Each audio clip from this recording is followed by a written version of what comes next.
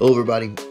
So today's video is going to be on Marmoset Toolbag 4. I purchased this a couple of weeks ago. Actually pretty happy with the purchase. I looked at it at first and I was trying to understand why would I pay a little bit more to get this upgrade, even though I've had three. And three was pretty good because it was just kind of a renderer. I would bring my ZBrush models in and light it in there and just put it on ArtStation. With this version, I started to realize that they incorporated a lot more than I expected. It's almost like three on steroids. They've included a library set, better HDR backgrounds. Uh, there's a whole set of libraries for smart texturing and things like that that I'll go over in the video in a bit. But on top of that, they've included GPU accelerated ray trace. For anybody who has a good graphics card, you can actually render ray trace and do your lighting and it it actually impressed me with before what I had with Toolbag 3 and what I get now. And then actually it's pretty pretty cool to see. The other thing is that they improved the viewport and stuff like that that I'll go over. What does that mean? What does this mean for us later on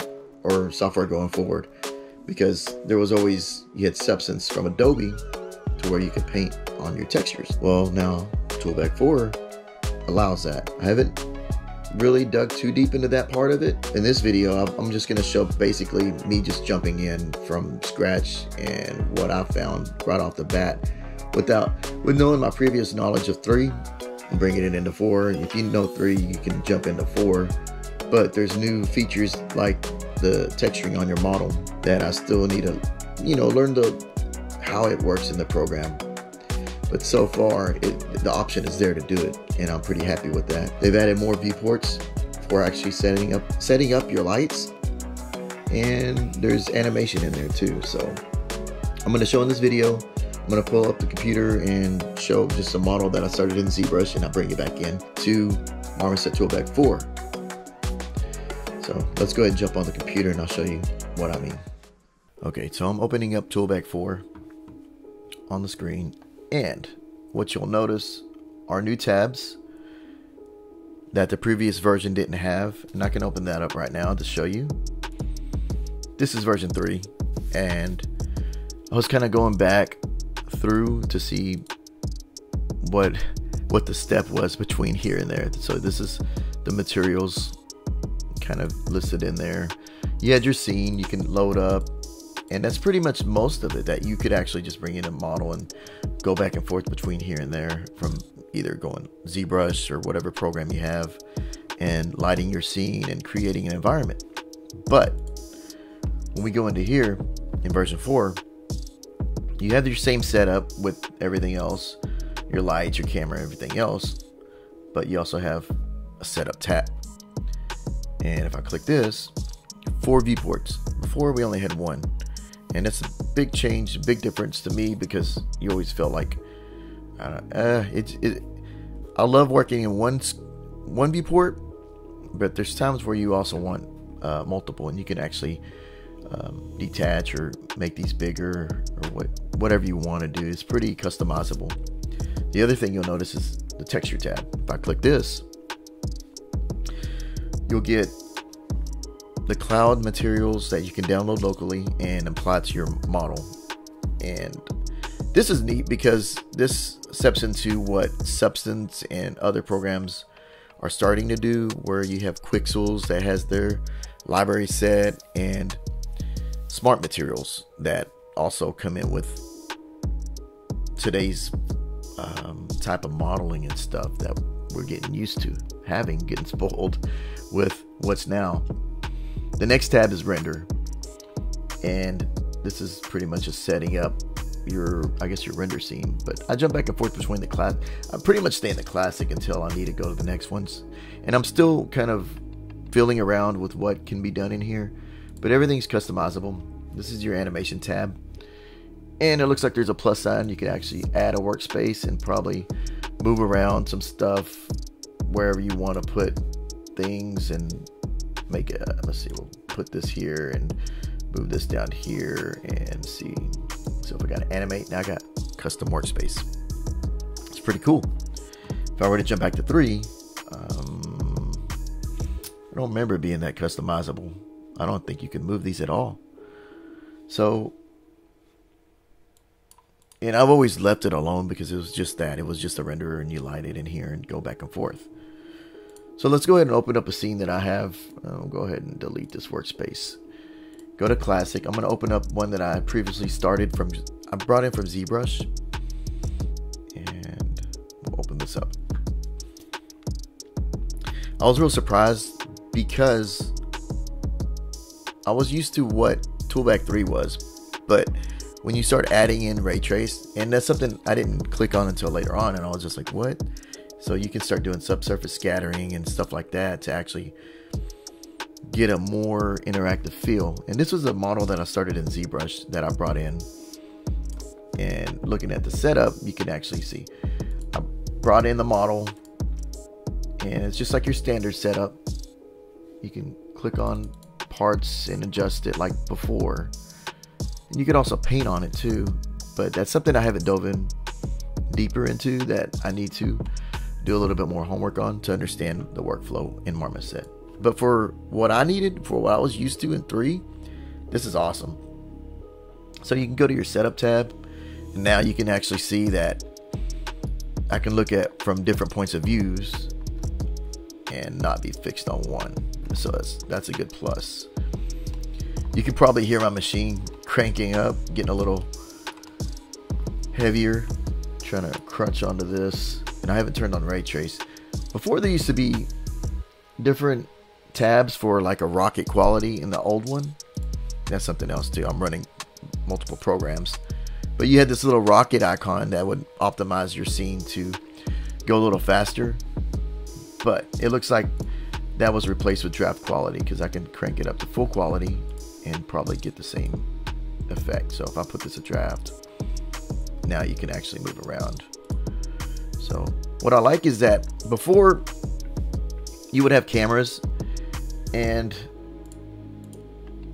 I usually would end up in a camera and move it and that's something that wasn't real fun because I'd have to make a dummy camera to actually use for perspective. They actually went a step further and created that and now I can move around and not mess with the cameras. So that's a plus. You've got cameras your lights uh, see what your light see so that's another plus got your top down that wasn't in the the other version I, I never had that option in here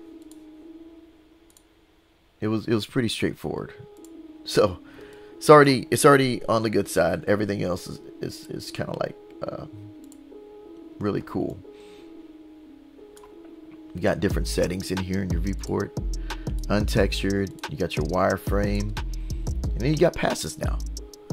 So you can actually just go into each one of these, seeing what you've got, material IDs, um, and these are good for also when you're texturing.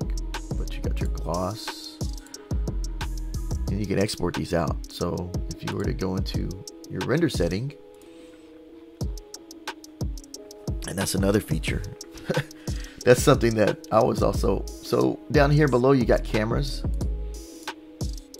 and when you render sometimes in the old version you would just render from that viewport you would render and select your, camera and go to scene and uh, export image this and that well on this one you can actually add your cameras. Add my main camera, add whatever other cameras that I have in my viewport.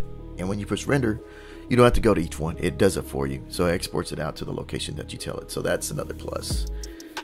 Uh, you've got composite.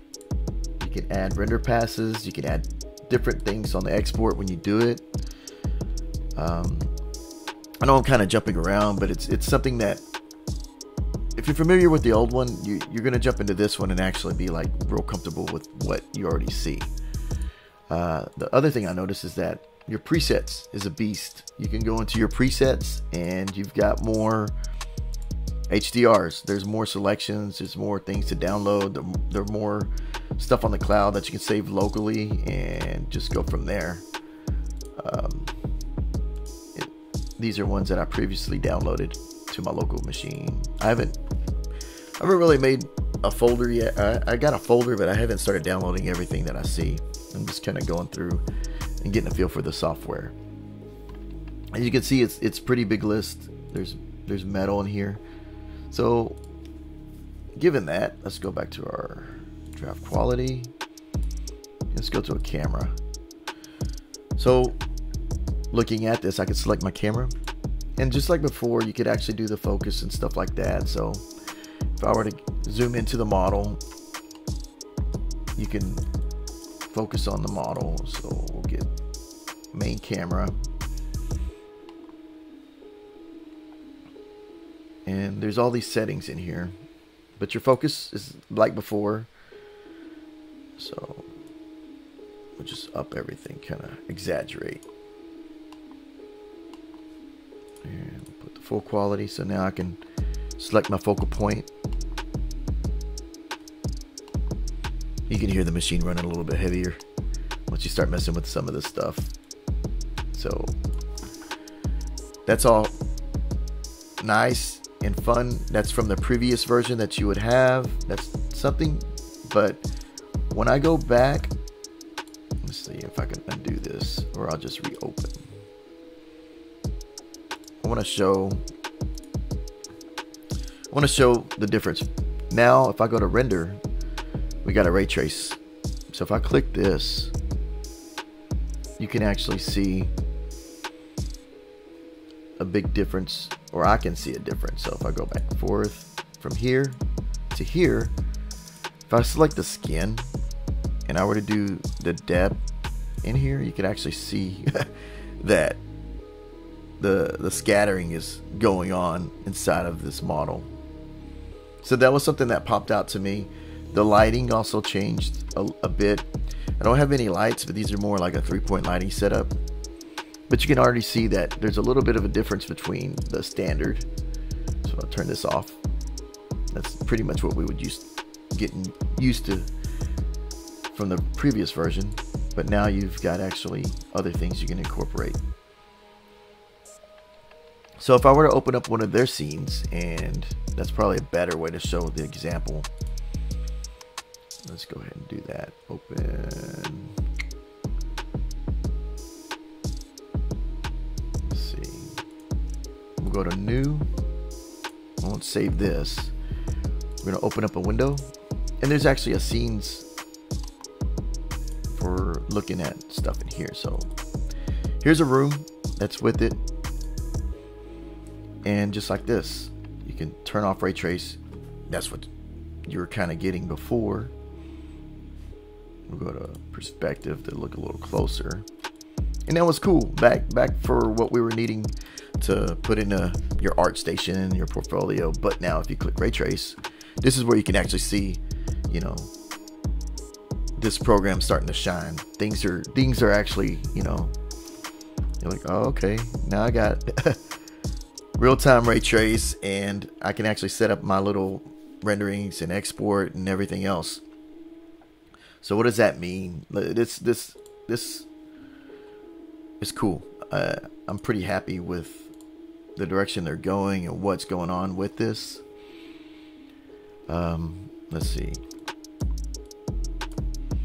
You've got your materials here. You can select them. But on top of that, if you go to your texture, let's see, we can actually grab something in here. Let's see if we can download one of these while it's waiting. But you can customize. And, and again, if I go back to the old one, this is what you got. You just had one viewport and your standard materials. That it was bare bones. And that's probably okay for what some people need but going forward into you know the future of what 3D programs are, so dragging on top of, of the model, you can actually see. Got displacement. You can actually add subdivisions onto models now. So that's something that helps if you were to bring in a low res model and you need a little bit more um, detail I'm gonna jump back to that model and show. So the hat was a low res version on this, and you could actually subdivide. So if I click it, this is the model, and if I look on the wireframe, low res and it's good for what this program originally was for. But sometimes you bring something in and you and you forget to subdivide or add in a subdivision to jump back and forth between ZBrush or Max or Blender or Maya. But now you can subdivide inside of here. So that gives more, um, just more control over whatever you really want to do, and that's pretty cool. That that's that's a plus to me. Different cameras. Uh, if I go into here, go to camera two, camera main one. There's filters now. Now before, it probably had that. Let's see. Let's go down here. You got presets we got the filters in here, we can still do what we did before. But on top of that, you're adding textures, you're adding your control over everything else in the image to get an actual, like almost a final image right out the bat out of the program. So I was pretty happy with what you can do right off getting in Marmoset. The only thing I need to actually do is start figuring out the texturing from here. And that's something that I, I want to start playing with when you get into the scene. And on top of that, they've added translate, rotate, scale tabs. Before, I don't really remember having those gizmos. So this is also good now. So now you can actually move the character. if you zoom too far, you can see that she's not fully modeled. You, you, you're gonna see what it is. But then you got world space. So if you don't like going by the coordinate, you can change it to world space. So if I'm looking at any angle, it'll stay within that. And that's cool because when you do the lights, previously you would do a light and it was now you can do world space right there. Move this around grab the gizmo and you're lighting it real time. I love you can actually just pop those colors. Get crazy with it. You can get change the colors. We can go into here. Give a little more. I don't know. There's so much you can do now, and before, yeah. So, in my opinion, I, I'm really happy with the direction. You got tool sets, tabs, you got history tabs, and that's pretty cool. The only thing I need to dive into is creating um, the texturing, and I need to turn this off.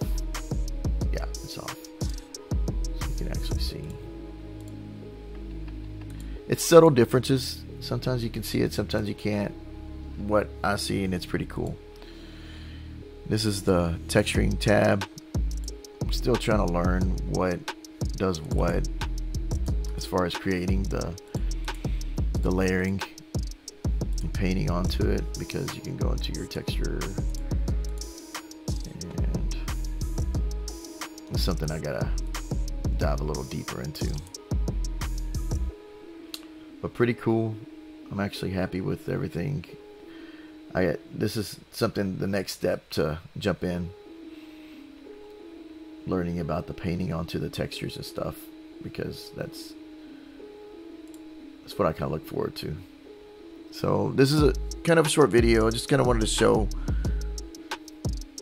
coming from three to four and what I found interesting and what what's pretty neat Everything in here is just um, beefed up steroids. so, hopefully, this kind of helps you decide whether or not this is a good jump into um, going this direction with Toolbag. Um, I think I think in the future every other software is going to kind of follow this direction, and it's that's the way it's starting to look. Is that there's yeah the the future looks good for 3D so I hope you like this video. I hope you um, look into what you know Toolbag has to offer and try that. There's a trial version, I think, for it. I don't I don't know for sure. Uh, let's go to their website and look real quick. I think there's a download option. I probably have to dig into that. I don't know if it's a full license, but it's worth looking into. Good program. So, thank you for watching this video. Uh, hopefully, I get some more models into Marmoset, and I can show you a little bit more of what uh, I come across. I'm hoping to jump jump into the texturing next, but from jumping from here to here, if you're a previous user, I'm pretty sure you'll be happy. So, thank you for watching.